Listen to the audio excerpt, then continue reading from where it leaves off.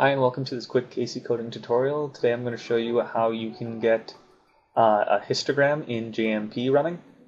So uh, first thing you want to do is open up your copy of JMP. Hopefully it's just on your desktop, but I'm sure you can figure that out on your own. So uh, you probably acquired this on your own or either through the university. I acquired this from my university uh, when I was taking my statistics course. So what you want to do is uh, get a new table of data um, that's right off the top here, or if this menu is not here for you, you can go File, New, and uh, Data Table.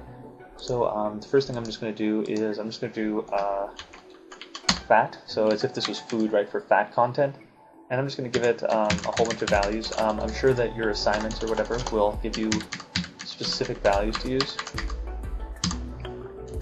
Okay, so um, now uh, you don't even have to drag over anything like you would in Excel. All you have to do is go to the top here where it says Analyze, Distribution, and then you're going to click on Fat here. So um, if you had more columns here like uh, fat, sodium, vitamin C or something, uh, those would also be listed here. And then what you can do is when you click Fat, you can click Y columns, and it gets added in to uh, to your, the the the, um, the analysis of the distributions.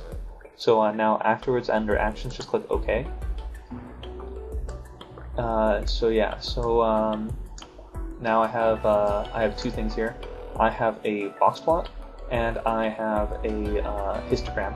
Now the box plot isn't actually uh, what I'm looking for. It displays both at once. So if you click on this red arrow, you can just go outlier box plot, get rid of that, and it'll go away. Just to make sure you see that, it's right there, outlier box plot, underneath the red arrow, not the blue one.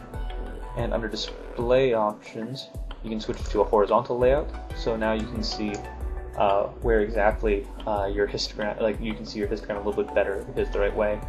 Now, um, of course, because I have one outlier value that's uh, way out of the way, uh, my histogram looks a little bit funny, but uh, I'm sure you guys will see the point anyways and uh, understand how that works. Um, so yeah, from there you can actually just copy and paste this right into a Word document. Um, you'll also see that it also that it already puts a lot more information in here for you.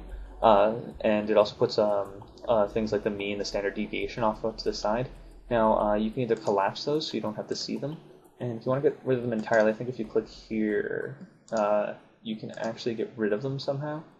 Uh, yes, right under display options, uh, click that same arrow that we did the last time. Under display options, you can get rid of quant quartiles, or quantiles, sorry, and movement, and it gets rid of all that for you, so you don't have to look at that. yeah. So uh, that's basically uh, how you use uh, how you can uh, make a histogram in JMP. I hope that's useful for all of you uh, first year stats students.